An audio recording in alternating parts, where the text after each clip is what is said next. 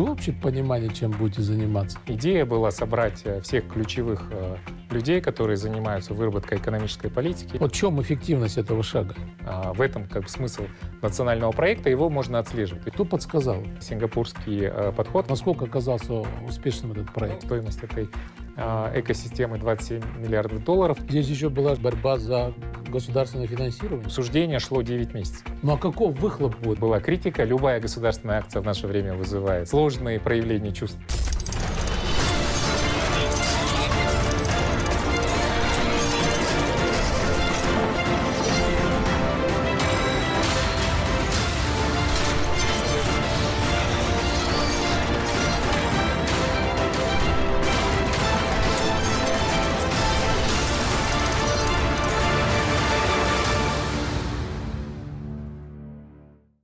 Двойной шок последних лет, коронавирус и снижение цен на ключевые экспортные позиции. Даже человеку без экономического образования понятно, что нефтяной суперцикл завершается. Нужно что-то менять уже стратегически.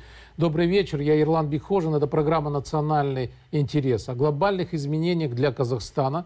Сегодня будем говорить с человеком, который предлагает новый вектор развития. У нас в гостях – председатель агентства по стратегическому планированию и реформам страны, управляющий Международным финансовым центром Астана Кайрат Келимбетов.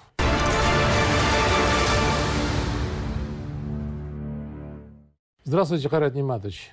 Свое первое образование вы получили на факультете кибернетики и вычислительной математики МГУ. Почему выбрали эту специальность? Кто подсказал? В то время-то? Ну да, у нас э, часто мне задают этот вопрос, потому что у меня родители из писательской среды. А, старший брат э, поступил на физический факультет МГУ, и он на пять лет меня старше был, безусловным авторитетом моральным. И, конечно, вот этот интерес э, к естественным э, наукам, он усилился. Я после седьмого класса перешел в республиканскую физико-математическую школу, дальше там уже это заданный маршрут. То есть он где-то надавил, да? Иди... Нет, я, нет, я думаю, что тогда все увлекались э, физикой, математикой. Это ну, очень... Так обнял брат, иди туда, да? Я смотрел просто как на его примеры, и это было очень романтично. У вас четыре диплома в свое время стали самым э, молодым членом Кабмина, министра экономики в 33 года. Уже тогда начали проявлять талант стратега? В 2002 году указом а, президента тогда Ельбаса меня назначил, а до этого, еще в 1999 году, то есть за три года до этого, а, я возглавил агентство по стратегическому планированию. А, тогда это было вот маленькое агентство, до этого это было агентство по стратегическому планированию Тогда вам и реформам. Лет было? Тогда мне было 29. 29. Да. Ну, самая молодость. И вдруг бац, на агентство. Как воспринимаете это? Тогда? Ну, это был хороший вызов, если вспомнить вообще, что в 1997 году э, первый президент Ельбасы э, утвердил стратегию «Казахстан-2030», то как раз «Казахстан-2030» стратегия готовилась большим творческим коллективом. А с казахстанской стороны это больше были молодые экономисты, которых собрали в Высшем экономическом совете администрации президента. Идея была изучить мировой опыт, пригласить а, наиболее квалифицированных консультантов и проработать долгосрочную стратегию на 30 лет. Но вот с тех пор был большой интерес э, к лучшей мировой практике, к реформам в экономической сфере. И, э, ну, по сути, и сегодня этот опыт востребован, особенно когда а, был создан Высший совет по реформам. Президент э, Хасам Жамар Кемельевич Тукаев доверил вам очень важную часть управления страной, если не главное, стратегическое планирование. И вот в прошлом году были образованы два важных института. Высший совет по реформам при президенте страны и агентство – по стратегическому планированию и реформам. Вот поясните, какова роль вашего ведомства в этом большом совете при главе государства? Глава государства в сентябре прошлого года в своем послании объявила о создании Высшего совета по реформам. А, это специальный институт, куда входят а, семь а, членов Высшего совета. Глава государства сам является председателем этого совета. Также было образовано шесть консультативных комитетов. То есть это очень важно, что специальные шесть рабочих групп которые возглавляют, а, вот три рабочие группы возглавляет премьер-министр. Это рабочие группы по диверсификации экономики, а, группа по бизнес-регулированию, то есть облегчению условий, для, особенно для малого и среднего бизнеса, и группа по социальной политике. Также есть э, специальная группа по сбалансированной макроэкономической политике, ее возглавляет сам сэр Сума Чакраварти, как бы будучи в прошлом президентом Европейского банка реконструкции и развития. Он такой достаточно подготовленный, квалифицированный эксперт в этой сфере. А, и в эту группу входят как э, структуры правительства, такие как Министерство финансов, Министерство экономики, так и Нацбанк и Агентство по финансовому регулированию. Также э, я являюсь членом этой группы. И две группы, которые возглавляет э, руководитель администрации. Это группа по модернизации государственного управления, сектора государственной службы и группа по реформам в судебной и правоохранительной сфере. Но, как вы видите, все шесть групп, они сконцентрированы на решении тех задач, которые сейчас прежде всего стоят перед обществом, то есть это ответ на тот кризис, о котором вы говорили в самом начале. А, действительно, глава государства поставил задачу, что восстановление экономического роста уже в постпандемический период, то есть что нужно делать уже непосредственно с учетом тех вызовов, которые есть, как э, э, Национальному банку, так и правительству Республики Казахстан и другим государственным органам. Это вот с одной стороны. А с другой стороны, все-таки нужно было заглянуть э, за горизонт, то есть действительно заняться стратегическим планированием, не только заниматься решением краткосрочных и даже среднесрочных задач, а больше сконцентрироваться на стратегических вопросах 5-10 лет, то есть какая модель мировой экономики устанавливается, какие мировые мегатренды и что нам со всем этим делать. Ну, а рабочим органом является этого Высшего Совета Администрации Президента. Тем не менее, есть э, рабочий процесс, в котором координатором или модератором, что ли, рабочей дискуссии а, является Агентство по стратегическому планированию и реформам. Оно вновь было создано, и к нему присоединили также Бюро по национальной статистике. Да, ну а вот при закрытом формате обсуждения каких-то задач дискуссии достаточно жарко идут? Во-первых, как бы здесь две итерации. Да? Вот, например, когда мы обсуждали национальные проекты, то есть это была открытая дискуссия с подключением общественной экспертизы, экспертов, э, с подключением а, депутатов парламента. То есть э, а, мы хотели бы, чтобы те а, наверное, решения, которые готовятся, или те проблемы, которые есть, они были озвучены всем обществом. И мы вот эту обратную связь, в том числе в рамках концепции слышащего государства, mm-hmm. мы ее получаем. В какой-то момент уже идет выработка окончательного решения или решения, которое будет предлагаться а, рассмотреть на уровне главы государства. Вот эти решения уже проходят в режиме Совета экономической политики, дискуссии жаркие, а, очень часто есть несколько точек зрения, но в итоге мы приходим к тому самому окончательному решению, которое а, ждет от нас глава государства. То есть до конфликта не доходит? Это ведомственные дискуссии, я думаю, что все поднаторили в них хорошо. Но как раз-таки, почему глава государства и создал Высший совет по реформам, потому что а, в некотором смысле, вот чтобы избежать вот э, чрезмерной бюрократии, там, чрезмерного забалтывания, наверное, каких-то mm-hmm. решения каких-то вопросов, он поставил задачу максимально разрешать э, вот те вопросы, которые есть у нас в краткосрочной, среднесрочной перспективе, и не затягивая их, обсуждать на его уровне. Ну, я так понял, перед АСПИР не стоит задача пересмотра стратегических целей. Зачем тогда вот раньше ликвидировали эту структуру? Вот э, если вы помните, что эта структура была создана в 1997 году, и в 2002 году, когда принималось решение о гармонизации стратегического, экономического и бюджетного планирования было создано Министерство экономики и бюджетного планирования, МБП. Это 2002 mm-hmm. года. Оно э, много лет проработало. То есть функция стратегического планирования перешла э, в, в структуры правительства Республики Казахстан. И сейчас было принято решение, что все-таки иметь отдельно выделенную функцию. А здесь есть э, два таких момента. То есть это, с одной стороны, дополнительное мнение о том, а, что нужно делать правительству, и это структуры подотчетные непосредственно главе государства готовят. С другой стороны, те поручения президента, которые идут а, правительству, мониторинг реализации реформ, он закреплен за агентством по стратегическому планированию, поэтому а, было принято такое решение. Но другим, наверное, важным моментом, почему было принято решение, все-таки вот сама пандемия а, и допандемические а, мегатренды да, в мире. Mm-hmm. Вот вы сами говорили о том, что суперцикл такой долгосрочный, высоких цен на сырьевые ресурсы, скорее всего, заканчивается. Хотя краткосрочно, среднесрочно мы видим, что цены да. а, на нефть поднимаются, и, скорее всего, мы еще... Мы говорим, а, и слава богу. Да? да, и слава богу, но как раз-таки глава государства поставил задачу не расслабляться, а понимать, что это, возможно, заключительный короткий цикл, и нам нужно правильно его использовать для того, чтобы сохранить соответствующие ресурсы национального фонда. С другой стороны, а, вот четвертая индустриальная революция, то есть это тренды появления новых технологий. Очень важно не остаться в таком арьергарде, что ли, мирового технологического процесса. То есть очень важно успеть заскочить вот в этот э, уходящий поезд э, новых высоких технологий. А вопросы декарбонизации — это отдельный вопрос, который вообще ставит очень много задач по новой бизнес-модели экономики Казахстана. То есть если раньше в стратегии 2030 мы опирались на энергетические ресурсы, да. то сегодня ну, мировое сообщество как бы по-другому к этому относится, и нам из этого нужно делать выводы. Плюс пандемия ускорила вопросы а, и требования тотальной цифровизации государственных органов. А, мы с вами ощутили по системе здравоохранения и системе образования, как и во многих других странах, что они не всегда выдерживали вот тот наплыв клиентов их, этих информационных систем.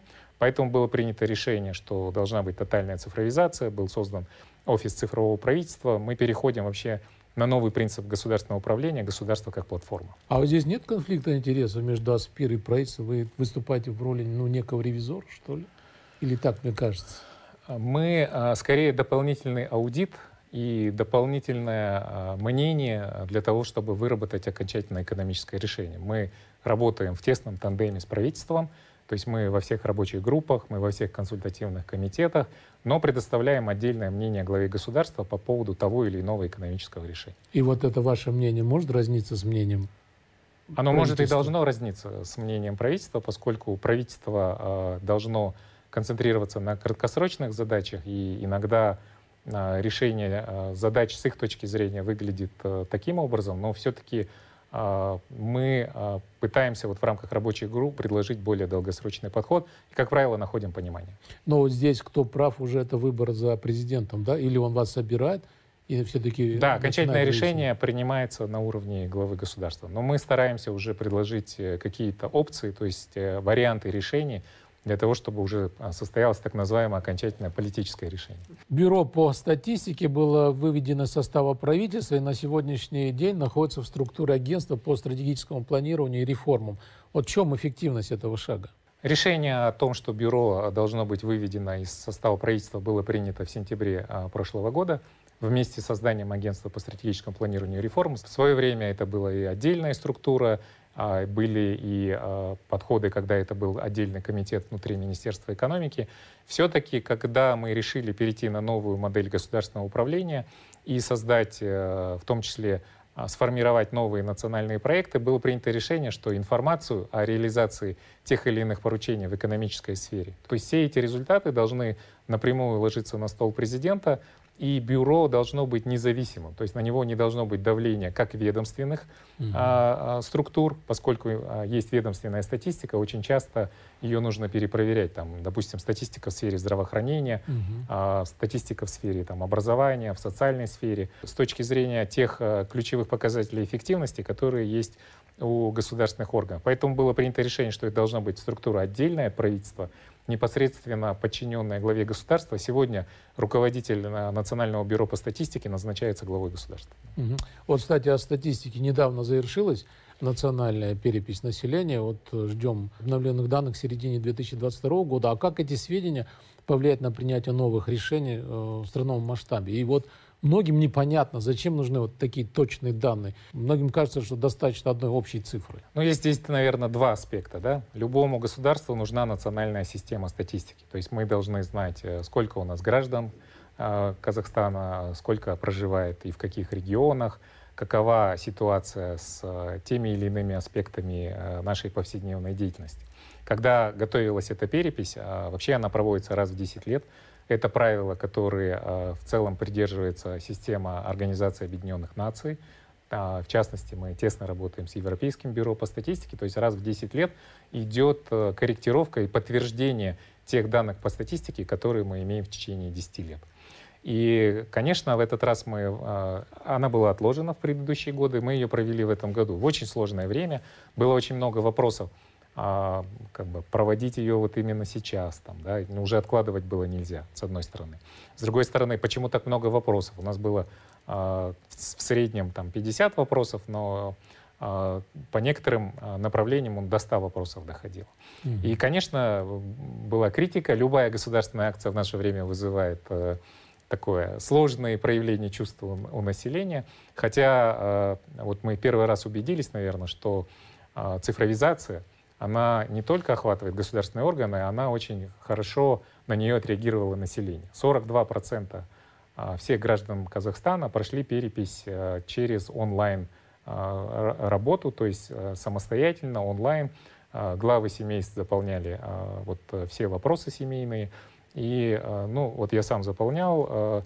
Также это занимало там от 15 до 20 минут, ну, при mm-hmm. подготовленной информации. И нас порадовало, что 42% от всех граждан Казахстана прошли это онлайн. Оставшиеся граждане были охвачены интервьюерами. И э, мы, во-первых, как признательны той большой работе, которая была проведена. И э, были очень высокие требования по вакцинации, по, ну, как бы, по соблюдению э, эпидемиологических всех э, требований. Э, мы понимаем, что были какие-то вопросы, тем не менее мы все это прошли. А, можно а, вот уже констатировать, что в целом перепись успешно проведена. Как вы правильно сказали, окончательные итоги будут подведены в июле 2022 года. Предварительные итоги до конца декабря, наверное, мы озвучим, но а, в целом можно считать, что перепись состоялась. Очень было много вопросов вот с позиции, что у нас же как бы повсеместная цифровизация, зачем нам проводить э, дополнительную перепись. Да. Действительно, есть очень много данных э, по тем или иным базам данных у государственных органов, у Бюро по статистике. Тем не менее, а, мы только доформировываем сейчас национальные так, называемые регистры по населению. Мы планируем, что следующая а, перепись которую можно через 5-7 лет уже, наверное, досрочно провести, она как раз-таки будет уже полностью цифровой. Сейчас э, разработана концепция бизнес-реинжиниринга статистических процессов вместе с Министерством по цифровизации. Мы планируем серьезно модернизировать эту отрасль. Сейчас во всем мире идет революция в госуправлении, которая называется переход на управление экономики, основанной на данных, так называемый data-driven government.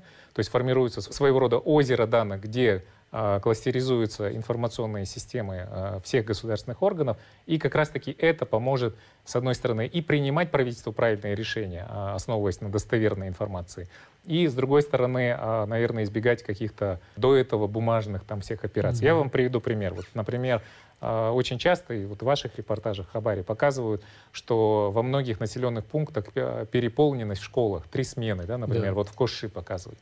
Все это государство заранее должно знать на основе тех демографических трендов, на основе положения, сколько детей, когда пойдет в школу, в каком районе. Вот сейчас мы как раз вместе с государственными органами формируем такую базу данных. Вы знаете, что глава государства дал поручение построить в ближайшие 4 года через национальный проект образования свыше тысячи школ. А, это не просто задача, нужно знать, где эти школы нужны, как избежать То есть, точечно трех смен. Да, вот это вот для этого нужна повсеместная статистика. Или, например, статистика в сфере жилищного фонда. Нужно знать, в каких домах живут наши граждане, какое качество жилья у них, как готовить новую жилищную программу. Вот для всего этого проводилась статистика. Или, например, в сфере здравоохранения мы а, в том числе э, перепроверяли данные ведомственной статистики Минздрава, мы опрашивали, сколько людей заболело ковидом, mm-hmm. сколько людей, например, из-за этого потеряло работу. То есть все эти данные будут э, в распоряжении государственных органов, и я думаю, что это хорошее подспорье для принятия правильных экономических решений вот в э, предстоящей перспективе. Да, когда мои, мои многие тоже заполняли этот опросник, всем казалось, что какие-то странные там вопросы. То есть странных вопросов как бы нет, это чтобы заполнить вот это озеро. Вопросы были на ведомственном языке, которые касались иногда там младенческой смертности, вопросов там качества а, инфраструктурного каркаса государства, но они все нужны, и государственные органы ежедневно эти, этой информацией пользуются. То есть вы когда заполняли, ни один вопрос вас не смутил? А, конечно, нет, да. Сейчас мы прервемся на рекламу, так что оставайтесь с нами.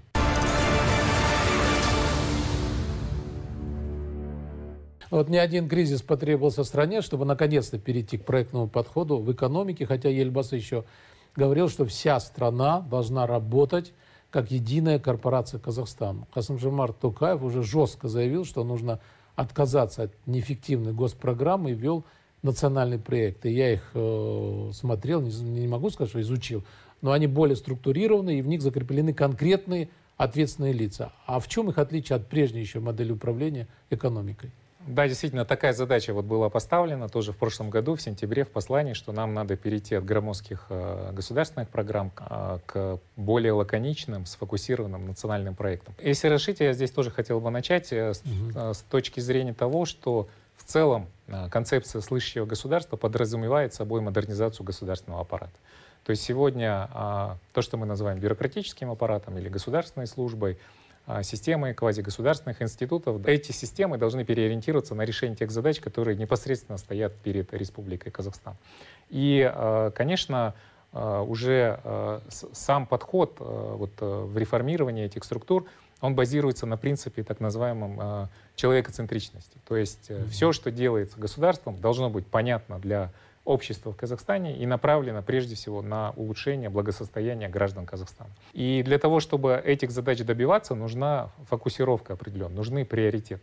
Вы знаете, что в феврале этого года глава государства утвердил своим указом 10 э, общенациональных приоритетов. Это mm-hmm. приоритеты в трех э, основных сферах. Это в социальной сфере, например, образование, здравоохранение. Это приоритеты в сфере изменений, а, реформы институтов, это, например, новая модель государственного управления, и приоритеты в сфере диверсификации экономики. То есть есть четкие приоритеты. Когда есть приоритеты, их не может быть 100, а, их может быть, там, может быть от 3 там, до 10, вот эти 10 приоритетов были утверждены. Соответственно, это 90% интересов граждан Казахстана. Вот mm-hmm. если каждодневная жизнь охватывает, государственные органы так или иначе соприкасаются с жизнью э, граждан Казахстана, то вот эти 10 приоритетов их охватывают. И вот по ним нужно добиться ощутимых, э, конкретных, измеримых результатов. Вот для того, чтобы добиться реализации этих задач, были сконцентрированы а, и сформулированы 10 общенациональных проектов. Национальные проекты, список был утвержден главой государства. Почему важно на уровне главы государства было утвердить? Потому что очень часто каждое министерство или ведомство хочет утвердить свой национальный проект. Вот каждое министерство видело раньше под себя какую-то государственную программу, где а, выделяются какие-то ресурсы, и, в общем, министерство их как-то охватывает. Угу. А здесь мы подошли, а, другой подход, это сингапурский а, подход, когда министерства и ведомства, они объединяются вокруг решения одной задачи. Вот, например, вопрос, национальный проект по а, «Здоровая нация». Является ли это проблемой только Минздрава? Там, да? Наверное, нет. Да? Это и проблема и других министерств, которые отвечают за пропаганду здорового образа жизни, или а, это тематика, в том числе Министерства образования по поводу там, а, уроков там, физкультуры а, в школах, в университетах. А, и вы видите, что очень много министерств, они должны решать одну задачу. Как правило, э, вот в государственных программах было так, что каждое министерство имело свою ведомственную программу и старалось не общаться с другими министерствами. Сегодня даже на уровне информационных систем эти э, информационные системы друг с другом не разговаривают. Вот для того, чтобы преодолеть вот эту ведомственную разобщенность, и был общий государственный подход, был э, принят э, подход, когда мы перешли от э, государственных программ э, к проектному управлению. Вот сейчас скажу хорошее слово за государственные программы. Они в свое время сыграли большую роль особенно когда была вот гармонизация стратегического бюджетного планирования, что не просто отдельная бюджетная программа, например, ведомство выделили столько денег, они их освоили. Ну и что, да? добились угу. они каких-то результатов. Да. А, а, придвинулись мы ближе к решению наших общенациональных задач. А, вот этот вопрос а, немного хромал, особенно в связи с тем, что многие государственные программы хронически недофинансировались. Сегодня мы переходим к национальным проектам, а, и задача такая. Национальный проект может быть утвержден, а это уже будет утверждение на уровне правительства, где есть более гибкий а, подход, а, если есть соответствующее финансирование. И мы параллельно работали в том числе и с Республиканской бюджетной комиссией. То есть национальный проект — это свод действий государства по достижению тех целей, которые поставлены главой государства и которые определены приоритетными. Соответственно, есть конкретная задача, достижимая а, задача, измеримая задача, и есть конкретная ответственность. Это то, за что ругали государственные программы. А кто же все-таки отвечает, если да. что-то получилось и что-то не получилось? Но у нас, как всегда, а, вы знаете, да, у победы много отцов, а поражения сирота. Вот в данном случае как раз главой государства утверждены ответственные. У каждого национального проекта есть куратор. Это, это либо премьер-министр, либо его заместитель. А далее а, ответственные министры. Далее каскадируются эти задачи вплоть до а, ответственного заместителя министра, который уже отвечает за 2-3 не за 10 тысяч, а за 2-3 конкретных показателя, и э, его работа на ближайшие 3-5 лет выстраивается очень конкретная. В госпрограммах мы ждали, наверное, очень часто, когда госпрограмма завершится, она принималась на 5-10 лет, и потом делался анализ. Угу. Делался ежегодный анализ, но он не был как бы окончательным. Да? Сегодня национальный проект принимается таким образом, что 24 а, часа в прямом э, как бы, эфире идет освещение деятельности по национальному проекту. Да? То есть к нему доступ будут иметь не только государственные органы, но и общественные структуры, общественные советы, экспертные круги. и вся эта информация будет доступна. А, в этом как бы смысл национального проекта, его можно отслеживать. То есть если мы идем немножко не в ту сторону, можно вернуться и что-то исправить. Там, да? Да. А если нужно переаллокировать ресурсы, то их можно перебросить с одной задачи на другую. Но сама задача уже поставлена, и ее нужно реализовать. Я думаю, что в этом а, большое отличие от государственных программ, когда национальный проект является, во-первых, очень понятным документом, там буквально несколько страниц еще, да? и очень мобильным. В государстве любой его гражданин может прочитать, э, чем в этом национальном проекте люди занимаются и э, с кого будут спрашивать. А здесь как-то система наказания предусмотрена, вот кто не выполнил? Кто, да, я думаю, что здесь э, вот сама система ответственности предполагает персональную ответственность за невыполнение задач. А вот как раз, вот вы знаете, это? когда вот сейчас, в том числе в реформе госслужбы, да, а, когда тот или иной высокопоставленный служащий государственный там будет э, там, освобождаться от занимаемой должности, он как раз будет э, очень четкий спектр, что было выполнено, что было не выполнено. То есть это объективно. То есть с одной стороны, каждый человек будет знать, за что его ждет то или иное наказание, и стремиться к тому, чтобы его избежать. Говорить очень правильные вещи. Более того, говорить очень красиво. Ну а каков выхлоп будет? Вот когда казахстанец почувствует, ой, Рахмет, нацпроект как мне помог, как улучшил качественную мою жизнь.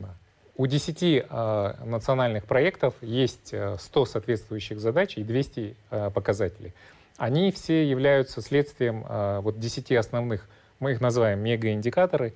Например, э, до 2025 года предполагается, например, что мы достигнем того, что продолжительность жизни в Казахстане достигнет 75 лет. Это очень э, как бы, объективный показатель, то есть mm-hmm. будет видно, достигли, не достигли. Да? Или э, в сферу инвестиций будет привлечено такое-то количество, там, например, там, столько-то триллионов тенге. Привлекли, не привлекли. Или, например, в сфере образования не будет трехсменных школ. Mm-hmm. Есть или нету, да, этот факт? Э, это вот как То бы, есть такие четкие показатели. Четкие показатели, да. Или, да. например, э, вот что для меня очень было важно, это э, вопрос качества образования и ликвидации вот этого разрыва между различными регионами и внутри регионов между городской местностью и сельской местностью. То есть сегодня система образования должна стать тем социальным лифтом, когда человек из любого населенного пункта в сельской местности, в городской местности должен получать высокое качество образования. То есть как это достичь?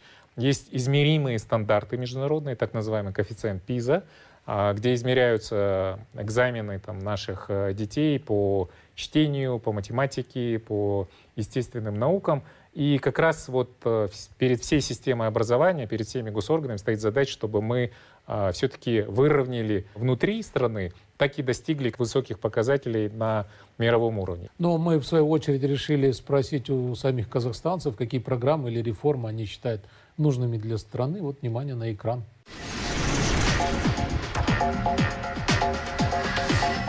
Надо акцент делать на молодежь, на образование, то есть образовательное именно, чтобы больше там давали гранты, вот, допустим, кажется, все равно будущее за молодежью, давать образование, может быть, хорошее, бесплатное. Будущее все равно за нами, за молодыми. В первую очередь, мне бы хотелось, чтобы были созданы больше условий э, для детей с особенностями. То есть это дети аутисты, дети, у которых ЗПРР. Допустим, государство выдает квоту им один раз на реабилитацию. А реабилитация вообще как бы для таких детей она нужна ежедневно. То есть вы понимаете, что это как бы от нее пользы нету. Вот хотелось бы больше вот таким деткам помочь. Бюджетную программу для людей, например, кто до 30 лет, э, зарплата там средняя 120, какое-нибудь жилье, чтобы было. Например, в основном программа для молодых семей же, там муж и жена. А если одинокие люди, у кого там половинки нету, ну, чтобы они, у них возможность была приобрести жилье. Вообще, очень интересно было бы для людей пожилого возраста, для пенсионеров организовывать соревнования городские, рыболов, спортсмен.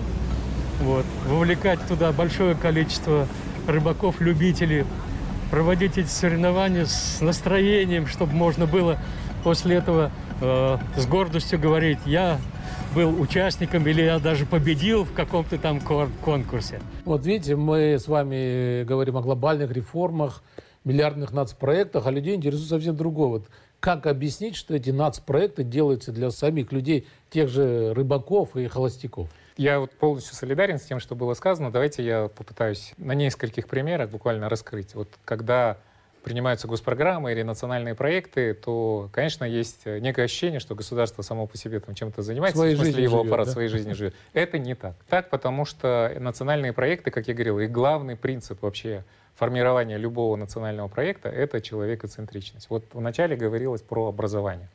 А, Мы все с вами понимаем, что благодаря демографическим трендам а, в ближайшие 10 лет на рынок э, образования, а потом и на рынок труда дополнительно придет 1 миллион человек. А, И это огромная нагрузка. У нас при сегодняшней э, инфраструктуре есть трехсменные школы. Да? У нас сегодня есть э, заполненность там, госпиталей там, и всего остального.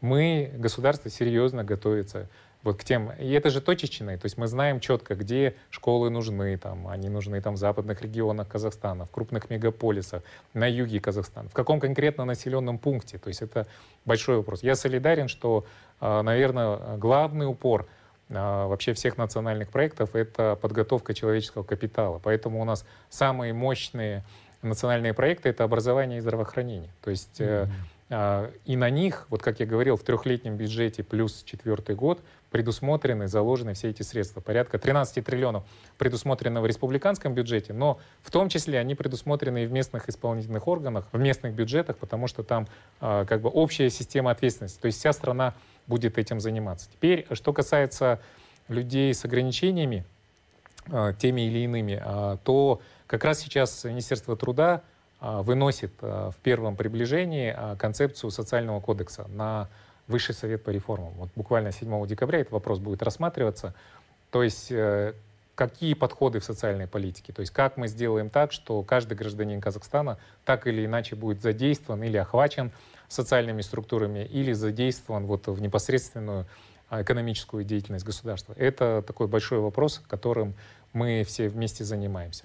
Ну или, например, вопрос охраны окружающей среды. То есть э, каково качество атмосферного воздуха в городе э, Нур-Султан или в городе Алматы. Что по этому поводу делает государство? То есть какие, а, вы знаете, здесь есть программы газификации наших э, основных э, ТЭЦ и в Алмате, и в, э, в Нур-Султане, и в 10 вообще крупных городах Казахстана.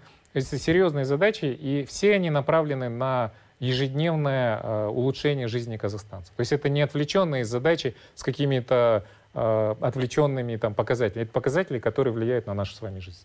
Немного сейчас рекламы, и мы продолжим разговор.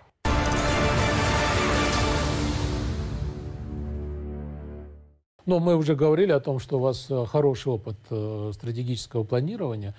А Вот 400 шагов э, Ельбасы тоже были непосредственно вашей вотчиной, и нынешние нацпроекты тоже, как вы сказали, отбирали. Я вот читал, что далеко не все предложения разных э, министров туда попали. Вот по какому принципу вы все-таки отбирали идеи, как были расставлены приоритеты по финансированию? Ну, вы начали, наверное, с, э, с программы э, «План нации». Помните, была Да, программа что? в 2015 году, принята.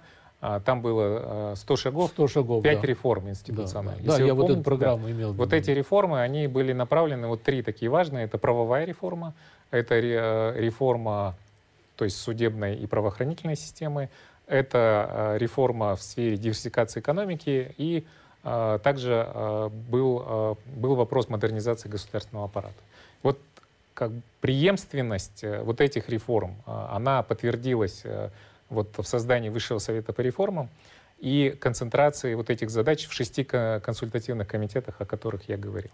Теперь, когда мы утвердили в феврале а, общенациональный план до 2025 года, это по-старому стратегический план до 2025 года, а потом был утвержден список а, национальных проектов, как я, а, обсуждение шло 9 месяцев.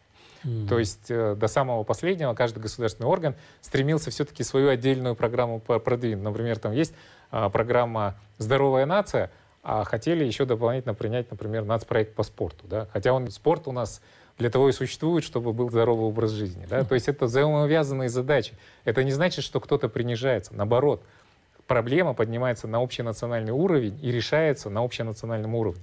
Поэтому мы убедили коллег, что не нужно 30 разрозненных задач, лучше э, 10 сконцентрированных. Вот было принято решение, я сейчас быстро по ним пробегусь. Это национальный проект «Качественное образование», «Доступное здравоохранение», это национальный проект «ЖСЛ Казахстан» по охране окружающей среды, национальный проект э, «Рухани Жангару», «Культурный код нации», это тоже важная задача под да. нашей идеологической составляющей. Это проект «Технологический рывок через цифровизацию и э, инновации», это проект, который, вот, например, делает и Минцифры, и Министерство образования и науки.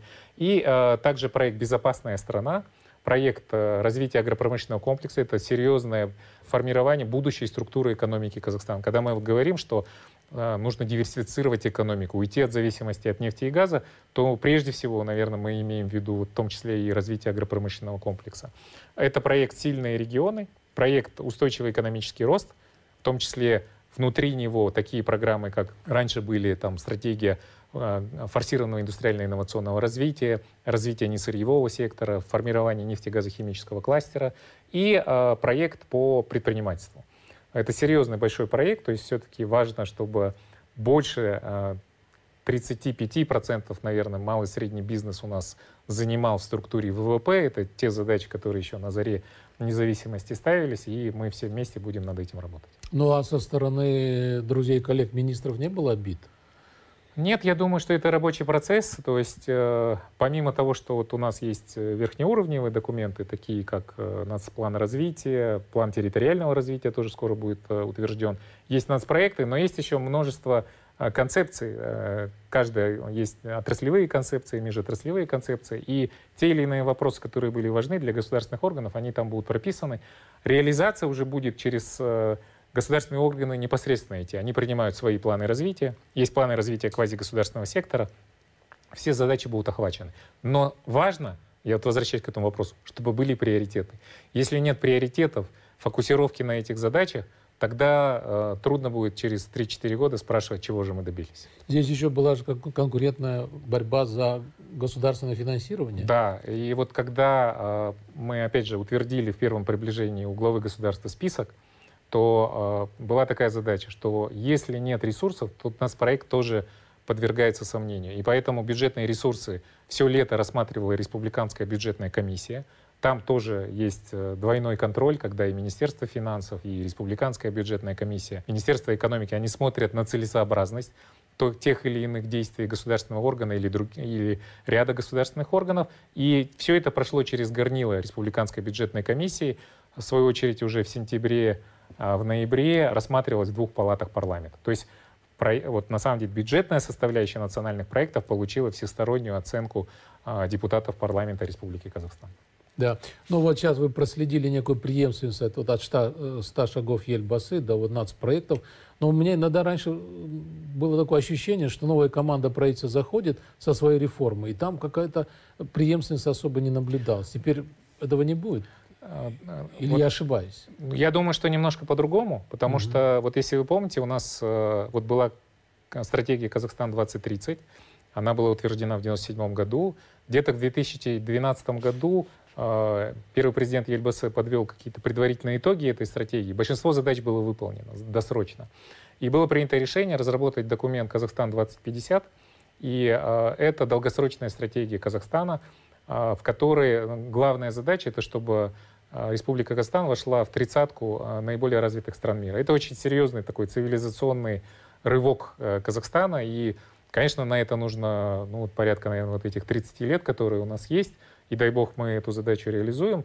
Соответственно, а, вот эта большая задача, она лежит в основе всего стратегического планирования в Казахстане. И дальше появлялись планы, вот план нации как ответ на глобальный финансовый кризис 2008 года и кризис э, по сырьевым э, ресурсам 2014-2015 года.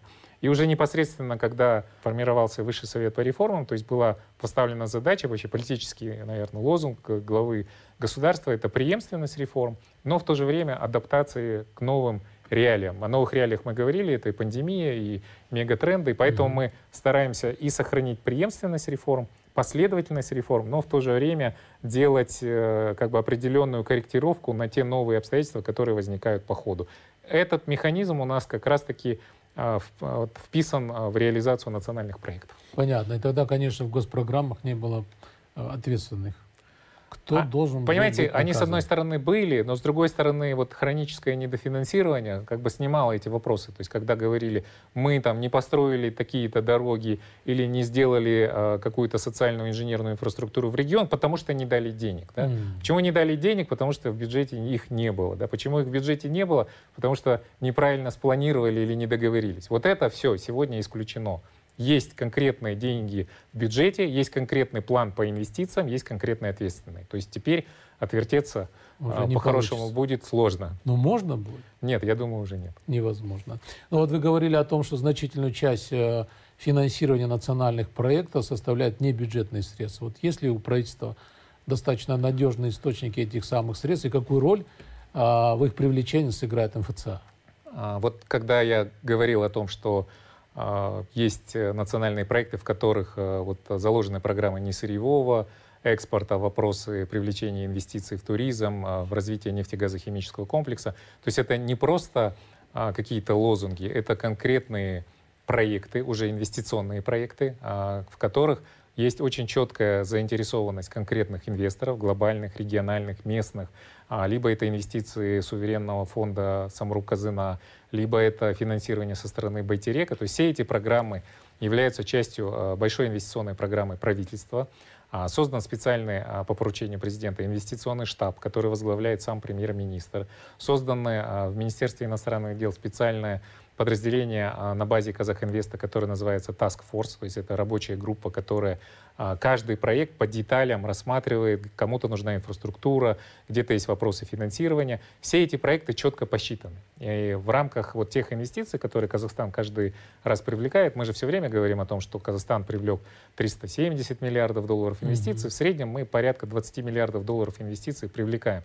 Вот внутри этих 20 э, миллиардов ежегодно сидят те инвестиции, которые намечены в конкретные индустрии, в агропромышленный комплекс, в туризм, в обрабатывающую промышленность. Вот они как раз и посчитаны. Роль МФЦА, если это глобальный инвестор или региональный инвестор, мы предоставляем нашу юрисдикцию для того, чтобы защищать а, права инвесторов, а, если возникают разные инвестиционные споры между ними, подрядчиком, между другими компаниями, либо а, инвестором и государственным органом по трактованию реализации инвестиционного контракта. Вот говоря о финансировании, мы все понимаем, что у нас э, в бюджете ощущается дефицит, поэтому буквально на днях президент э, Касымжамат э, Токаев подписал закон о гарантированном трансферте из нацфонда. Если я правильно посчитал, 6 э, триллионов 600 миллиардов тенге получит казна за три года, и сказано, что в основном деньги пойдут на пенсионные выплаты. Или все-таки какая-то часть из них будет направлена на финансирование нацпроекта? Ну, я бы хотел начать, что э, вы помните, что в 2001 году э, первый президент Ельбасы создал национальный фонд. Называется вот, в западной терминологии это фонд, который применяется, когда пойдет дождь, да, то Да. дождливые дни. Да. На самом деле идея этого фонда сберегать больше, э, когда цены хорошие на нефть, э, и не тратить, и и не, э, к- не извлекать из национального фонда, когда нет потребности. Потому что вот есть две таких природы э, взаимоотношения национального фонда и республиканского бюджета. Это процикличная и контрцикличная. То есть процикличная — это когда вроде и годы хорошие, и все равно деньги из нацфонда тратятся. А контрцикличный — это подход наоборот, когда хорошие годы больше сберегаем и меньше извлекаем, да, а когда сложные годы, мы используем эти средства. Я приведу два примера, когда использовали это. А, Например, а, средства были использованы в 2008 году, когда был глобальный финансовый кризис. Помните, мы спасали дольщиков, мы спасали а, депозиты населения в банковской системе. 10 миллиардов долларов тогда было выделено, хотя национальный фонд тогда по размерам был 23 миллиарда. То есть почти половина. И очень быстро мы восстановили. То есть это вот нормальная практика. А второй, наверное, пример, когда в пандемию мы поддержали, а, вообще пандемический ответ правительства был очень сильным, то есть были построены а, инфекционные госпитали во всех регионах Казахстана. Сама система выдержала вот этот несколько ударов, несколько волн. А, Но и с другой стороны, а, в тот период, когда был объявлен локдаун, помните, когда у у людей не было возможности продолжать свою трудовую деятельность, тогда были выплачены а, единственные на постсоветском пространстве такие социальные выплаты 42 500 Да. 4 а, миллионам человек. Это, конечно, это требовало дополнительных расходов из национального фонда. Вот, то есть два примера, когда нужно использовать деньги национального фонда, потому время что дождя, да. да, во время сложной ситуации. И, и наоборот, когда все-таки есть затишье, или когда цены на нефть высокие, или когда конъюнктура хорошая и бюджет в целом сбалансирован, вот тогда нужно эти средства сохранять. Как раз сейчас на Совете экономической политики рассматриваются новые бюджетные правила и правила а, изменения работы Национального фонда. Сейчас у нас в Национальном фонде 55 миллиардов долларов. Хорошо бы, если к 2030 году мы эту сумму удвоили. Благодаря вот правильной рациональной политике у нас вот в запасе была подушка безопасности 100 миллиардов, а, например, долларов. Идея, что все-таки научиться жить, как будто у нас нет нефти. И если раньше мы эту идею понимали только как создания национального фонда, то сегодня эта идея стоит шире, нужна новая бизнес-модель государства, в том числе с учетом задач по а, переходу к низкоуглеродной экономике, по декарбонизации нашей экономики. Это вот серьезные задачи, которые в ближайшие 20 лет, перед, ближайшие даже 40 а, лет перед нашей страной будут стоять. Вы, кстати, в одном из интервью сказали, что мы видим а, чуть ли не в последний раз хорошие цены на нефть. И это... поэтому, ребята, надо копить, копить. Я думаю, что э, вот с учетом, э, вот недавно э, делегация Республики Казахстан во главе с премьер-министром была в Глазго, да. и вообще решимость э, крупнейших мировых экономик, Европейского Союза, США, к требованиям, э, глобальными требованиями к, к странам-экспортерам э, либо углеводородных ресурсов, либо э, ресурсов, э, либо той или иной продукции, которая, э, скажем, создана на базе электроэнергии, электричества, произведенного из угля, либо произведенного из других недружественных вот зеленой энергетики ресурсов, а, будут облагаться налогом. То есть очень серьезные будут у нас в перспективе ограничения. А мы страна, которая экспортируем и в Европейский Союз, и в Китай. Это два экономических мировых центра, которые серьезные требования по зеленым стандартам будут предъявлять.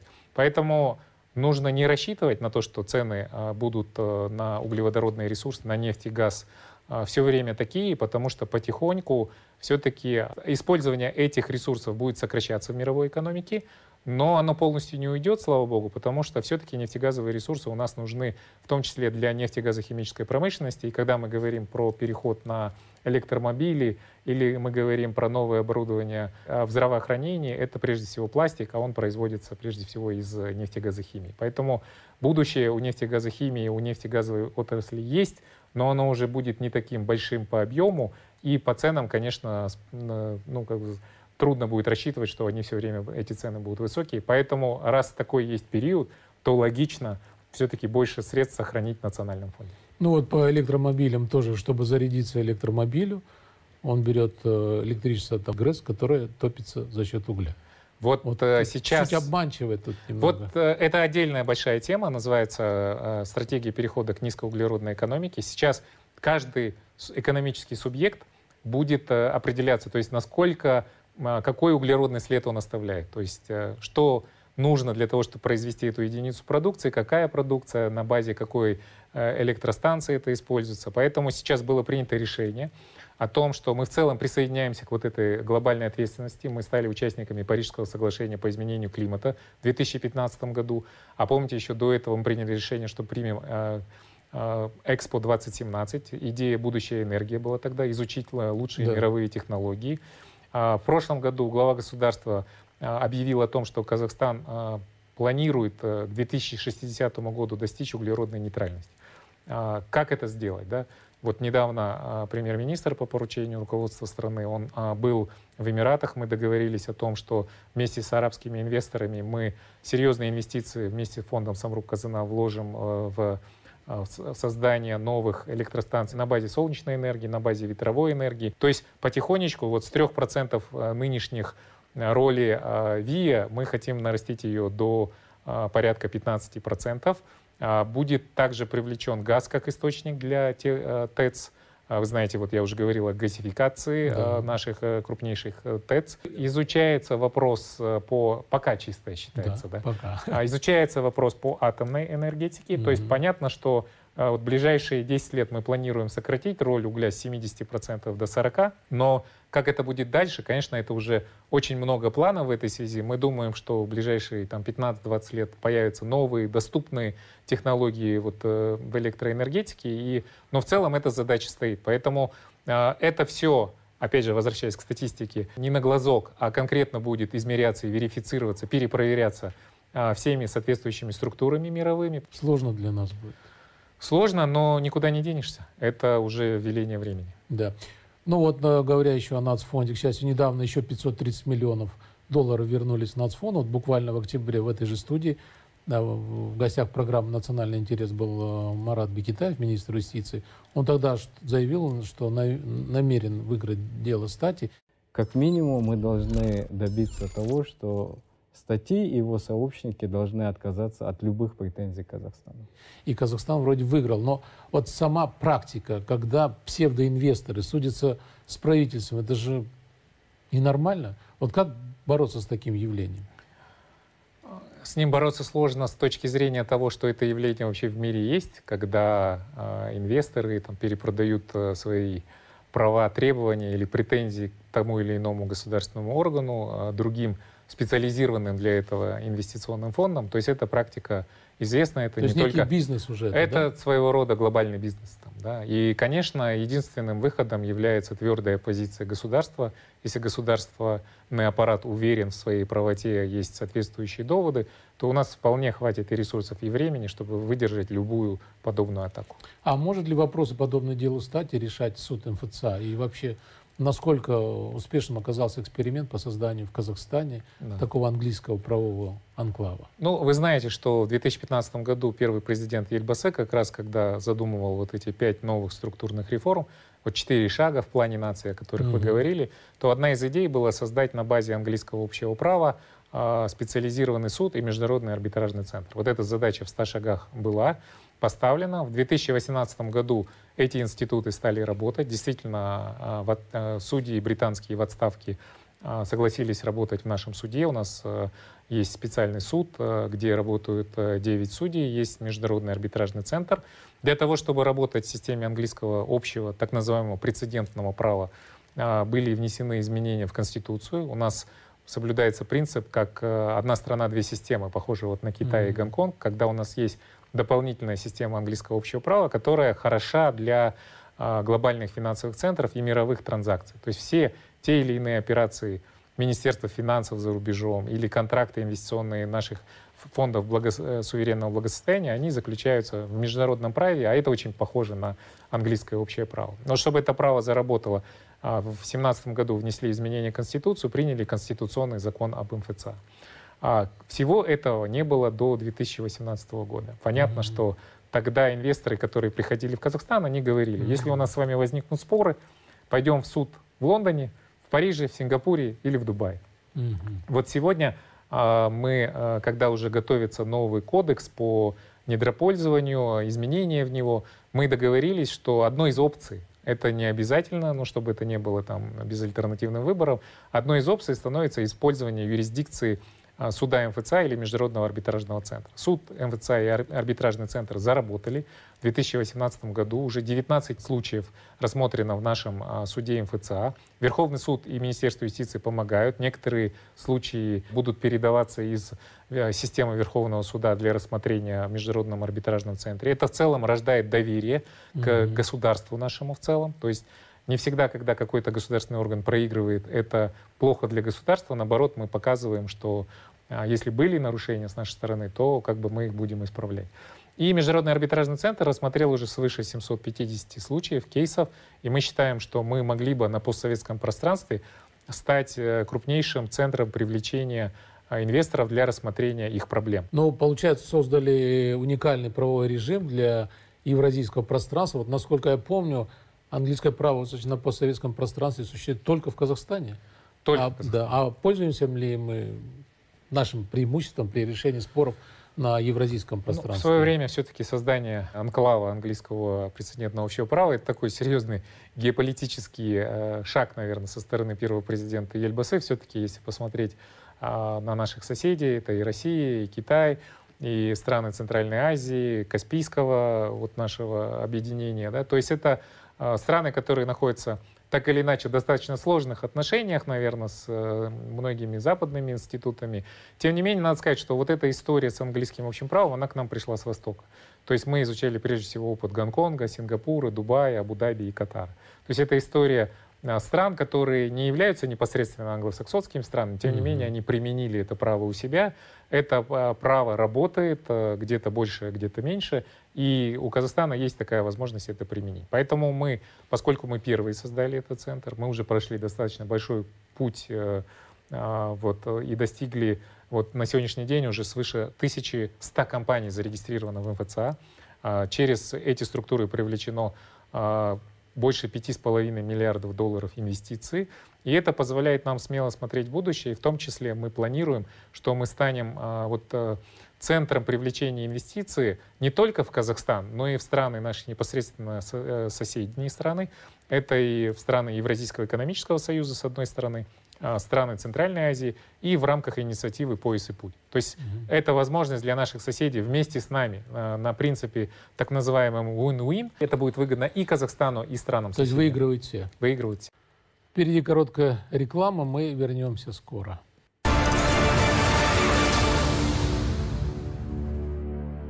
Как мы говорили, карантинные ограничения все же несли коррективы э, между странами, и сейчас страны начинают буквально заново выстраивать отношения с учетом национальных интересов. И вот какова роль в этом МФЦА?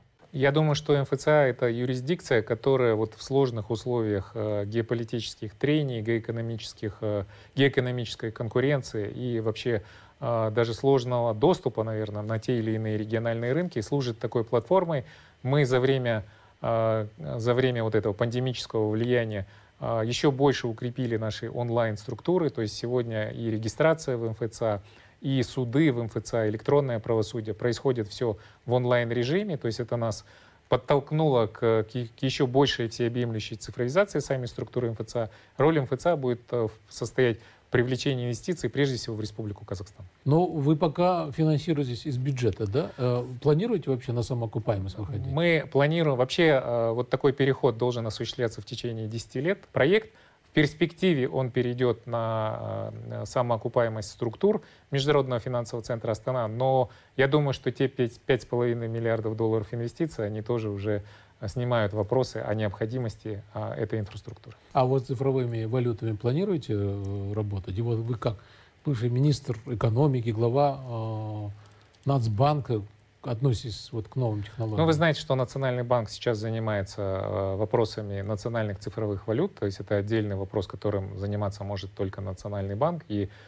соответствующий пилот э, готовит Национальный банк. Это очень важный вопрос. Сегодня очень многие центральные банки во всем мире переходят на это. Вопрос частных криптовалют, которые в основном на слуху, а, сегодня у нас находится под запретом в целом по законодательству mm-hmm. Казахстана, но вот было поручение президента вот на встрече с финансистами в Алмате о том, что а, Национальному банку, агентству по финрегулированию изучить возможность все-таки создания криптобирж в Казахстане. Соответствующее регулирование а, на уровне Международного финансового центра Астана мы подготовили. Здесь главный вопрос все-таки, как будет взаимодействие между системой Международного финансового центра Астана и банками второго уровня. Сегодня соответствующее есть задание подготовить пилотный проект, и вместе с Национальным банком и Министерством по цифровизации мы работаем над этим направлением. Ну, а у вас вообще отношение как к криптовалюте?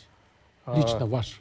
Ну, вы знаете, что сегодня, когда начинались э, инвестиции в криптовалюты, а, в целом а, рынок криптовалют был порядка, по-моему, 500 а, миллиардов долларов тогда небольшой. Сегодня это 2 триллиона долларов.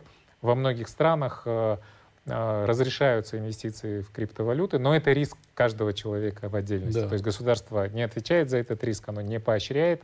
Сегодня вот технологии блокчейн в целом находят широкое распространение. Будут эти криптовалюты именно эти э, в ближайшей перспективе, но это никто не знает. Э, может быть, будут какие-то другие валюты. Я думаю, что здесь очень четко должны быть э, прописаны права потребителей.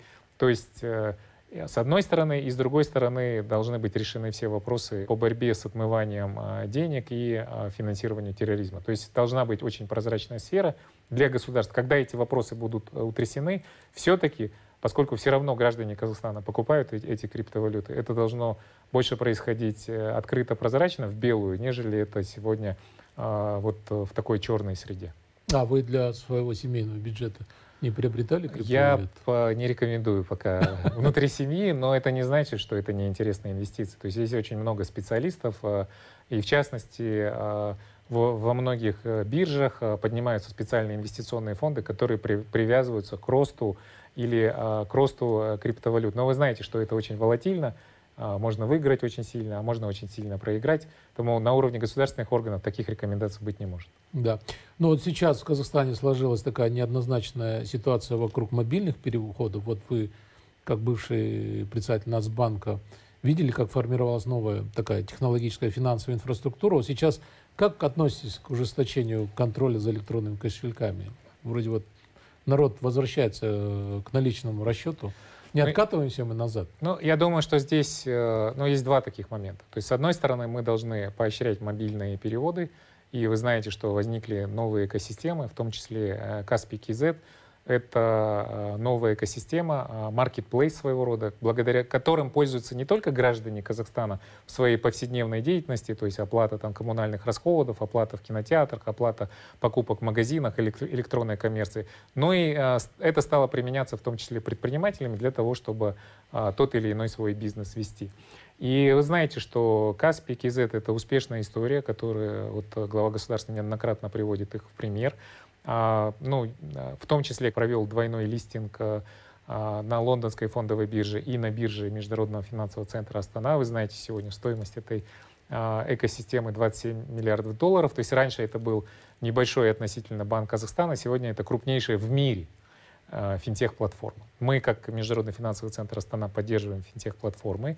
Мне кажется, здесь очень а, четко нужно сказать, что а, происходит революция, когда мы от э, экономики, которая базировалась на наличных платежах, да. переходим в безналичную экономику. То есть все э, вот эту гонку цифровизации у себя банки второго уровня да, тоже то начали. Все подхватили. Да, да, я думаю, что этот процесс не, нельзя останавливать. Это очень важный, нужный для нашей страны процесс.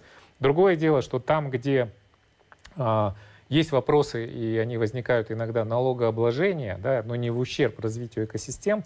А это надо как бы конкретно проговаривать э, с финансовым регулятором, проговаривать с Национальным банком, проговаривать с, непосредственно вот с участниками этой э, э, с участниками этого рынка. И вот мой личный подход, если вы спросите, наверное, сейчас этап, когда нужно больше поощрять развитие экосистем, и потом неизбежно, естественным образом придет этап, когда это станет э, частью в том числе вот в целом общегосударственной цифровой экосистемы, и вопросы те или иного, на, того или иного налогообложения будут подниматься, и это не будет беспокоить наших граждан, не будет беспокоить наших предпринимателей. То есть режим контроля мы запустили раньше времени, на ваш взгляд?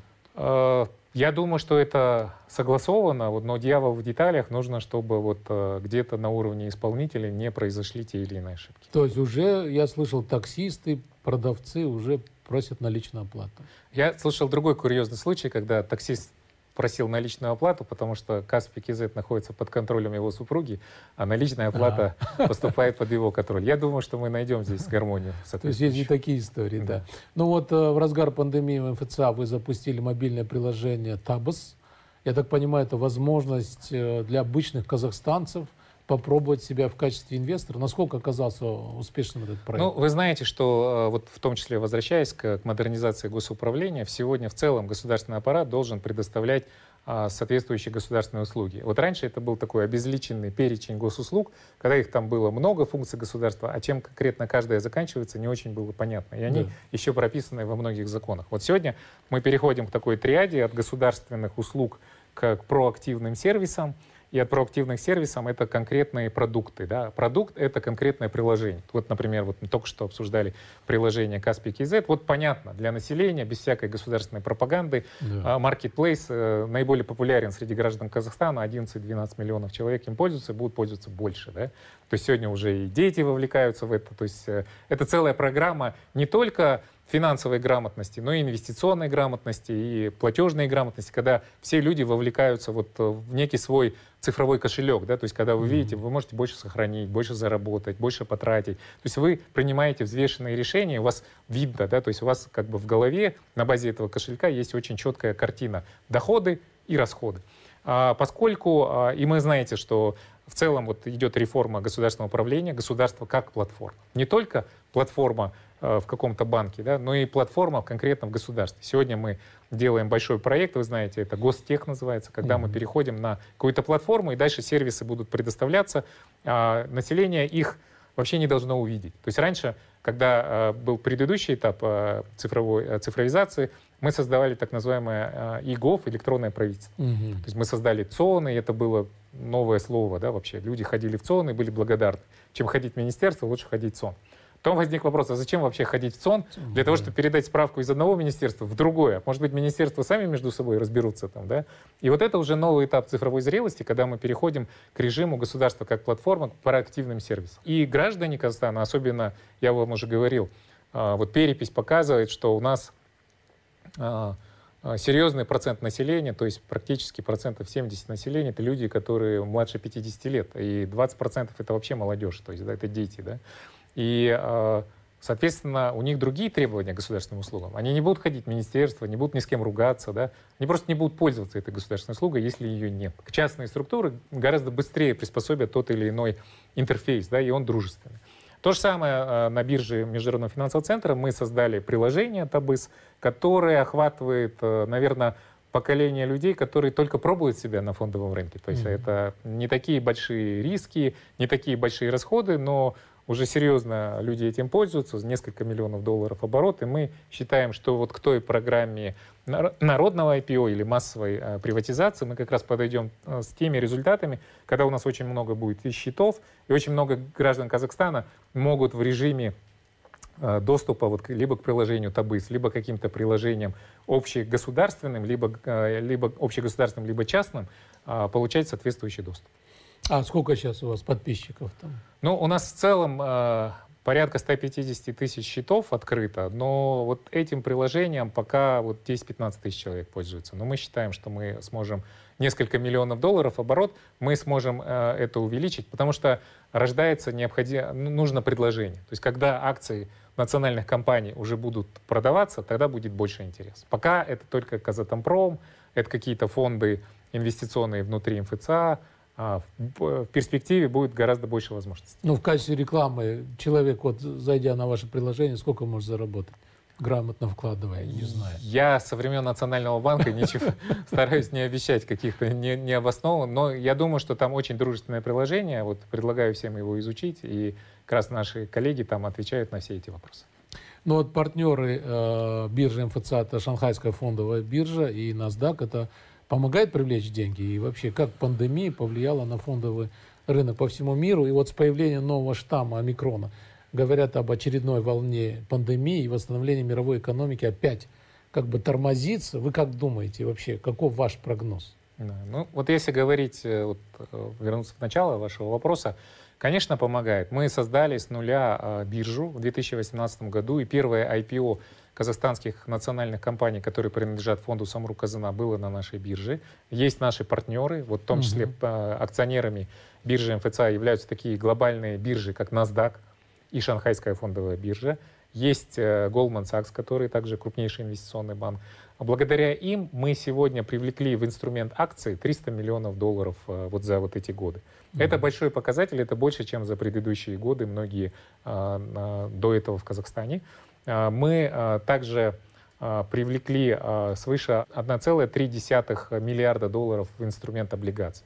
То есть сегодня серьезные инвестиции в Казахстан уже привлекаются. Капитализация биржи выросла в несколько раз, и мы этому очень рады. Теперь, что касается вопроса по дальнейшим ограничениям. Действительно, есть серьезный вызов, сопоставляется вот э, вирус, э, новый как бы штамм вируса омикрон, Является ли таким же вызовом, нужны ли новые вакцины против него? То есть это да. серьезная неопределенность для глобальной экономики. Ну, хотелось бы оптимистично смотреть в будущее, но тем не менее а, мы видим по реакции глобальных рынков, что есть серьезные опасения. Если есть серьезные опасения, очень важно создать виртуальные а, платформы или онлайн-контакты между мировыми рынками. Мы сейчас создаем такой э, серьезный центр или доступ на нашу биржу между нами и Шанхайской фондовой биржей, между нами и другими глобальными рынками. Я думаю, что как раз международный статус биржи МФЦА позволяет это сделать. Вот одно из направлений, как вы сказали, работы МФЦА, развитие зеленых финансов, это очень так актуально, учитывая курс многих э, развитых стран на, на улучшение экологии. А вот не кажется вам, что это некий такой просто, не знаю, очередной модный тренд мировой? Ну, это модный тренд на, навсегда. Вот если так говорить, я уже говорил, что к 60-му году мы должны э, выполнить задачи по декарбонизации экономики. Как mm-hmm. я, в чем э, как бы сложность выполнения этой задачи? Вот давайте сейчас я попытаюсь объяснить, да. э, чтобы было понятно, что такое декарбонизация, что такое переход э, к низкоуглеродной экономике. Это значит, что будет больше солнечных и ветровой энергии, будет больше газа, может появиться атомная станция, а, должно быть больше гидроэнергетики и появятся какие-то новые технологии. Все это в совокупности влияет на тариф на электроэнергию, которую мы каждый месяц с вами платим. А, однозначно пока в сторону повышения. А, поскольку это все гораздо э, дешевле угля сейчас ничего в мире нет.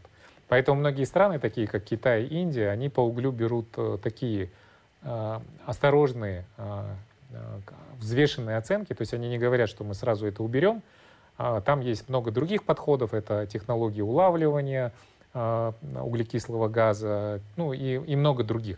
Поэтому этот переход должен быть постепенным, поскольку он влияет на больший тариф, влияет на экономический рост, а экономический рост — это создание рабочих мест, в том числе диверсификация экономики, в том числе вопросы конкурентоспособности наших любой индустрии. А, либо они влияют на социальное самочувствие граждан. То есть вот. Э, цена э, как бы, вопроса — это социальное самочувствие граждан. Но а, в любом случае это нас догоняет через налоги, которые на, на, к нам предъявят нашим экспортерам там, те же страны э, Европейского Союза или, э, или наши страны-соседи. Поэтому нужно переходить взвешенно. Чтобы переходить, э, нужны стандарты, вот эти стандарты зеленого финансирования сегодня вырабатываются, то есть это тоже не должно быть отмывание денег там под как бы хорошей эгидой, да, а это должны быть четко качественные зеленые кредиты, зеленые облигации. Все это описывает а, а, наш Центр зеленых финансов. Очень многие глобальные фонды, вы знаете, сейчас такой есть э, тренд, что благосостояние частных лиц переходит от одного поколения к поколению миллениал. Да? Да. То есть э, сегодня владельцами крупнейших наследств в мире будут именно поколение, которому нет 30. Там, да? И у них выбор однозначный. То есть они говорят, мы не будем финансировать проекты, которые не зеленые. А все партии в Европейском Союзе, они все, а, как правило, зеленого толка, да, то есть а, те же зеленые в Германии, они тоже очень сильным давлением сами находятся со стороны своего населения и давят на правительство, что все должно быть зеленым. То есть это уже переход. Понятно, что страны Европейского Союза начали готовиться к этому 30-40 а, лет назад, но э, мы должны присоединиться к этому. Мы очень надеемся, что и в 40-х, 50-х годах появятся новые, более финансово доступные технологии, но тем не менее свою домашнюю работу до 2030 года, до 2025 года мы должны сделать, правительство соответствующие обязательства на себя взяло. Ну, теперь вопрос от наших информационных партнеров, не знаю, больше как к эксперту по зеленым финансам или как главному по стратегическому развитию. В общем, а, в редакции газеты аргументы и факты вас спрашивают. В Казахстане до 2025 года запланировано посадить 1 миллиард деревьев. То есть за три года надо выполнить такой колоссальный объем работы, по несколько миллионов саженцев в месяц. Специалисты называли нам разные цифры этих миллионов. Как вы считаете, это вообще выполнимо? И если да, то каким образом? Ну, мы базировались на мнении Министерства экологии. А, Министерство экологии считает эту задачу выполнимой. Это, это важная задача. Это в том числе задача по а, вот, а, лесопосадкам. Это часть э, нашего вклада вот, в глобальную ответственность. Конечно, это очень серьезная задача и серьезная ответственность, но по мнению самого министерства это возможно. Но цифры, конечно, большие и впечатляющие. Да, ну а вы сами как думаете, возможно? Ну, я думаю, что э, как бы те эксперты, которые это сказали... Что выполнимо? А, сказали, что это выполнимо, я как бы надеюсь на их экспертное мнение. Ну, вот что интересно, вы в свою команду набираете много талантливой, креативной молодежи, в основном это выпускники западных вузов. Вообще, как подбираете кадры себе? Ну, вы знаете, я вот, наверное, за свою всю деятельность в государственных структурах очень много видел государственных служащих, несколько, наверное, поколений, и первых балашаковцев, и тех ребят, которые отучились в ведущих университетах мировых, а до этого выигрывали мировые олимпиады по физике, математике, мы все-таки подходили к тому, что работа в Международном финансовом центре должна быть интересна самому сотруднику. Угу. Потому что цели долгосрочные, а, прямых, прямые результаты достигаются там, в среднесрочной перспективе, и очень важно не потерять вот этот внутренний интерес, внутренний запал.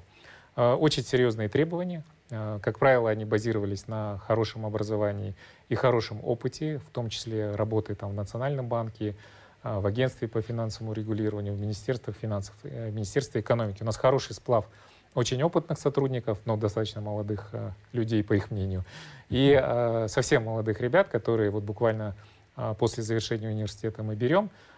Конечно, руководить креативными, молодыми людьми сегодня сложнее. То есть очень многие люди, если они не видят заинтересованности руководителей в их росте, если они не видят э, вообще конкретных задач, если они не видят своего роста, они, как правило, очень быстро уходят. Мы видим по многим государственным органам, откуда уходят такие молодые люди, как э, в основном к нам, что э, нужно очень четко концентрировать. Это должно быть win-win. Да? То есть человек должен понимать, зачем он пришел, чему он тут научится, что он научится делать и как он вырастет. И после этого он готов работать, и задача руководства финансового центра или агентства по стратегическому планированию, мотивировать их соответствующим образом. Сейчас все открыто, прозрачно. У нас для каждого человека есть свой карьерный план в МФЦА. И, э, ну и есть ответственность. То есть когда есть конкретные так называемые KPI, то есть ключевой показатель эффективности, оценивается не только э, руководством, оценивается и окружающей средой. Но в целом это очень интересная среда. Я думаю, для людей, которые закончили либо лучшие зарубежные вузы, либо наши лучшие технологические вузы. Всегда интересно работать с глобальным сообществом. Вот такую возможность Международный финансовый центр Астана дает. То есть главное, чтобы молодому человеку было работать интересно. Главное, чтобы э, ему было интересно э, самому развиваться в этом, а нам было интересно, чтобы он вносил вклад э, в развитие страны. Да. Вот ваша докторская диссертация посвящена влиянию суверенных фондов на конкурентно способность стран. Вот в своей работе вы приводите э, пример теории пяти капиталов. Во всем мире акцент сегодня ставит на финансовом и производственных капиталах, уделяя меньше внимания э, человеческому, социальному и природному капиталу, который также имеет свое денежное измерение. Вот почему человеческий капитал важен для Казахстана? Ну, Если и... у вас вот, баланс пяти, да. И что он даст в страновом масштабе? Вы чуть-чуть этого коснулись да. теме, но теперь более подробно. Ну, самый главный вопрос, э, вот, который я в своей научной работе затрагивал, это роль суверенных фондов. Их у нас несколько, да, то есть это у нас и Национальный фонд в Министерстве финансов, и фонд Самрукказына, mm-hmm. есть Байтерек, есть Национальная инвестиционная корпорация в Нацбанке, есть фонд прямых инвестиций. То есть у нас очень много структур было создано. То есть какова их роль в достижении э, устойчивой конкурентоспособности страны. То есть помните, когда мы говорили войти в 50 конкурентоспособных стран мира, то есть мы вошли там в число 50, потом откатились немножко. Очень важно, чтобы вот эта конкурентоспособность была устойчивой. Mm-hmm. Если это на примере, как бы люблю приводить пример, вот э, если вы в топ-100 лучших теннисистов мира входите, это не значит, что вы вечно там будете. То есть вам, за вами идут там молодые теннисисты, и вы должны все время тренироваться, чтобы быть да, в топ-100, топ-20, там, в топ-10 и так далее. То же самое, если мы хотим быть в тридцатке, то до этого надо быть все время устойчиво находиться в топ-50 конкурентоспособных стран мира. А вся экономическая деятельность Казахстана базируется, вообще наша конкурентоспособность базируется на том человеческом капитале, который у нас будет. И поэтому все наши национальные проекты и программы образование граждан Казахстана, социальные лифты граждан Казахстана для того, чтобы получить качественное образование, получить качественные услуги здравоохранения. Да? Вот э, есть такой а, измеритель э, человеческого капитала, то есть индекс, который э, делает Всемирный банк. И по нему измеряется, как бы, какова продолжительность жизни, какая младенческая смертность, какая материнская смертность, то есть какое качество образования у детей Казахстана. Да? То есть качество образования детей влияет на будущий экономический рост. Есть такие наработки. Да? То есть чем хуже это образование, тем меньше будет в перспективе экономических рост и наоборот. Да? Поэтому человеческий капитал очень важен, и сегодня мы этим занимаемся. Вы член Совета директоров Назарбаев интеллектуальной школы. Вот как оцениваете уровень казахстанского образования? Я скорее был в 2010-х годах э, членом Совета директоров mm-hmm. национальной, э, системы национальных э, интеллектуальных школ Назарбаев университета и, и в Совете директоров Назарбаев университет, как раз когда я работал и руководителем администрации в 2008 году, mm-hmm. и в фонде Самрук Казына, мы помогали становлению этих систем. А, я считаю, что безусловный успех Назарбаев университет сегодня один из ведущих вузов на постсоветском пространстве – который а, повторяет хороший опыт многих университетов. Есть совместные программы с многими глобальными университетами мировыми, с одной стороны. С другой стороны, выпускники а, Назарбаев интеллектуальных школ — это будущая элита Казахстана, то есть это люди, которые получают блестящее образование и в сфере гуманитарной, и в сфере языковой, и в сфере математики. Проблема в этой связи в том, что это всего лишь, и все вообще э, физико-математические школы, частные школы, это 3% наших школ. Угу. И э, если мы задумываемся, а мы задумываемся всерьез о качестве э, образования, о будущем наших детей, то этот опыт мы должны тиражировать на всю оставшуюся систему образования. Именно над этим должно работать э, а, вся система государственных органов, правительства, но в первую очередь Министерство образования и науки. А у вас много выпускников э, Назарбаевского университета? У нас много выпускников Назарбаевского университета, физико-математических школ э, и э, также различных лицеев. Мы очень гордимся этими выпускниками. Они в свое время выигрывали, как я говорил, все мировые олимпиады по физике, математике, химии, поступили в лучшие университеты, в Соединенных Штатах, Великобритании, Европейского Союза, Китая. И сегодня все они нам помогают развивать Международный финансовый центр Астана. Вот я слышал, что в Беларуси в обязательную школьную программу ввели игру в шахматы. Как думаете, нашим детям нужно что-то подобное в образовательной программе? Я знаю, что и в нише, и в, вот, э,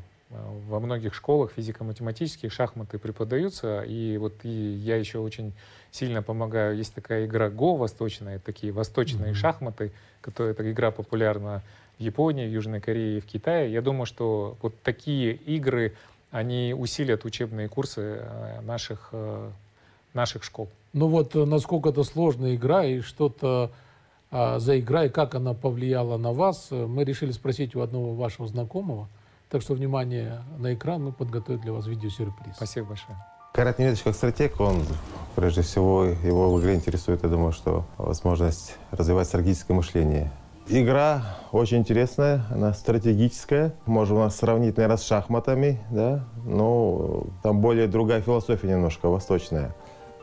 В игре Го цель не поставить мат противнику, а просто захватить территорию больше, чем у противника. Недавно к нам приезжали представители Российской Федерации Го, и у нас идея совместно с ними провести э, турнир в Казахстане. Достаточно крупный, это будет Кубок ЕАЭС. Мы планируем провести турнир при поддержке МФЦ и при поддержке Карата Неметовича.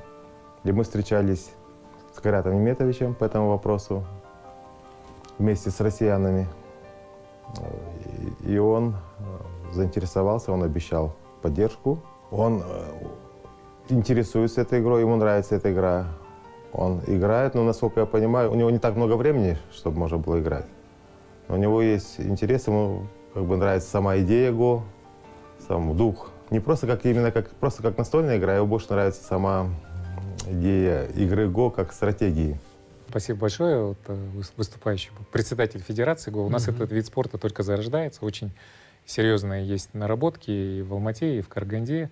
Mm-hmm. И мы помогаем сейчас вообще становлению Федерации, хотим провести большой турнир а, для того, чтобы больше граждан Казахстана ознакомить с этой игрой. Ну, я думаю, что востоковеды очень хорошо знают, о чем идет речь. А, действительно, есть отличие от шахмат, где вот такой бескомпромиссный там шах и мат, то в ГО это, как правило, очень уважительный разговор двух э, играющих. Да? То есть это зондирование, там, стратегическая разведка, обозначение зоны своих интересов. И, и, и такая, она больше похожа на win-win, когда происходит такой обмен, что ли, экспертизами да, двух, э, двух игроков. Это очень серьезно развито вот во многих странах э, Японии, Южной Кореи, Китая. А мы также понимаем, что для нас это не только там методологический какой-то или научный интерес, а, инвесторы и бизнес-структуры очень сильно, как правило, в это тоже задействованы, они помогают этому виду спорта в своих странах. В том числе через такой бизнес-канал мы хотим привлечь а, больше интереса к нашей стране. То есть Казахстан должен появиться на карте ГО в мире. А ваши дети играют в ГО? И... А я вот сейчас приобщаю своего младшего, ему 10 лет, чтобы он научился. И в том числе, если когда у нас появятся хорошие тренеры, инструкторы, методологии, это будет очень хорошо. Ну вот я понял, в вашей семье вообще настоящий культ знаний. Супруга закончила э, мастерскую программу в Сорбоне, вы трехлетнюю кембриджскую программу. Вот такой пример э, родителей, наверное, сильно подстегивает детей к новым вершинам. Велике вы моих родителей хорошо знали. Да, конечно. Они, как бы, из писательской, академической среды. Культ знаний, а, он привит с детства, он в ДНК, да, наверное, да. потому что нужно, понимать, нужно было соответствовать уровню, наверное, своих родителей, их среды, поэтому к нам были высочайшие требования. Вот мы, э, как бы два сына у своих родителей были. Э, надеюсь, с этой точки зрения их не подвели. Но есть же и другая задача. То есть это программа генетическая, которая должна быть заложена в нескольких поколениях. Я очень рад, что мои дети э, сами тоже продолжили эту программу. Они очень много где учатся, продолжают работать над собой. Здесь мысль которую еще а, Ельбасы закладывал, это образование на протяжении всей жизни, это уже не а, рекомендация, а это уже обязательное правило. То есть если вы не будете апгрейд своего образования делать, которое само по себе очень быстро устаревает. Вы сейчас во всем мире и, и деловое администрирование, и госуправление, и все науки, они как бы очень сильно быстро развиваются, нужно этому соответствовать. Поэтому если самому не соответствовать, то ты вот предыдущий вот вопрос, возвращаясь, там, молодых людей, ты не можешь быть для них примером, да? да. И не можешь быть для них авторитетом. Ты должен быть авторитетом для своих сотрудников, для членов своей семьи. Я стараюсь э, этого придерживаться, супруга меня в этом поддерживает. Но единственное, дети жалуются, что они не всегда успевают соответствовать в полной мере. И, точнее, они стараются, проходят очень много хороших образовательных программ, но я поощряю вот э, этот внутренний огонь, чтобы не останавливаться в саморазвитии. Да, ну если вспомнить вашего папу Нематара, которого я знал лично, вот при встрече он э, всегда давал мне какие-то наставления. Ну а вы как сын, какие главные уроки получили от папы? Но при этом, вот что интересно, вас не испортила такая районовская школа жизни. Я для зрителей хочу сказать, что в наше время так мы географически делились по дворам и школам. Да, про это есть много фильмов, да, дворы, по-моему, называется. Да, да. да, да. Они районы. Районы, да, да, да. Районы. Действительно была такая тоже. Ну, кстати, с какого района? Романтичная среда. Тогда этот район назывался СПС, если вы помните, называется «Сами по себе». Да. Тоже романтическое название. Даже название дерзость да. была какая-то. Я да? вот, э, меня, наверное, в каком-то смысле э, спасли родители, потому что они в седьмом классе отправили меня в республиканскую математическую школу. И я скорее такую в сторону э, так называемых ботаников там пошел, когда, то есть, когда у нас было по, по 8 уроков в день, то есть у меня просто не было времени. Ну и слава богу, что больше развития было вот в этой интеллектуальной среде. Возвращаясь к урокам, да. ну вы знаете непростую, наверное, судьбу и моих родителей. Конечно. Папа вот был ограничен в движении, то есть ему сделали в свое время операцию, после которого он 10 лет вот провел вот обездвиженным. Несмотря на это, он, вот его внутренний духовный мир позволил ему вернуться к активной трудовой деятельности. Он стал писателем, переводчиком, а, закончил свои наработки по, в тюркологической сфере, выпустил массу учебников. И вот этот э, неустанный труд родителей, когда они не спали ночами, завершали книги, работали над этим, это вот, наверное, тот яркий пример, который послужил э, ну, такой хорошей мне жизненной мотивацией, с одной стороны. С другой стороны, вот, э, всегда моя мама и мои родители вот говорили о том, что надо радоваться тому, что есть каждодневной в нашей жизни, просто здоровью своему, тому, что есть там э, солнце, там, и у тебя все в порядке так, в целом с твоей работой там, и в семье, то это вот, наверное, те философские э, немногочисленные радости, которые есть там смысл, наверное, какой-то жизненного бытия. Я, на самом деле, вот эти два принципа позволяют выдерживать все стрессы на, в любой карьере, я считаю. Ну, когда мы готовились к этому интервью, для меня было открытием, что вы стали лауреатом премии Джонатана Мана – то есть Кайрат Килимбетов, первый казахстанец, удостоившийся награды за вклад в противодействие эпидемии ВИЧ, инфекции. Об этом мало кому известно, по-моему. Расскажите, что, в В 2000, За- за го- что конкретно в 2000 получится? году мы с программой развития ООН подготовили стратегию, э, тогда был, помните, всплеск у нас, э, Мгм. стратегию вот, э, борьбы с э, ВИЧ-инфекциями. С, э, вот, э, тогда эта проблема возникла, и мы достаточно быстро ее разработали, и она стала реализовываться. Благодаря эт- этой стратегии каких-то э, достаточно хороших результатов удалось достигнуть, и тогда программа развития ООН посчитала, что этот вклад нужно оценить, но это было очень давно. Очень давно. То есть это была группа казахстанцев? Это была э, группа казахстанцев, которая разрабатывала стратегию э, борьбы с ВИЧ-инфекцией. А в чем выражалась премия? Э, Премия выражалась, э, в, в том числе был какой-то ее, ее материальная говоря, часть, да? мы ее перечислили вот на благотворительные цели. А какой общественной работой сейчас, вот параллельно с основной, вы заняты сегодня?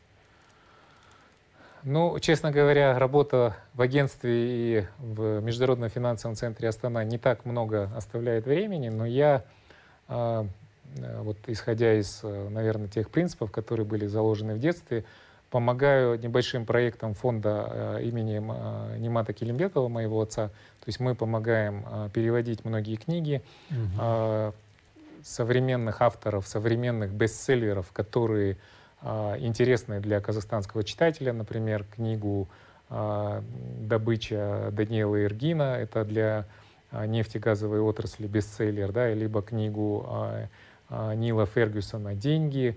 А Сейчас мы работаем с книгой Стива Шварцмана, его автобиографической.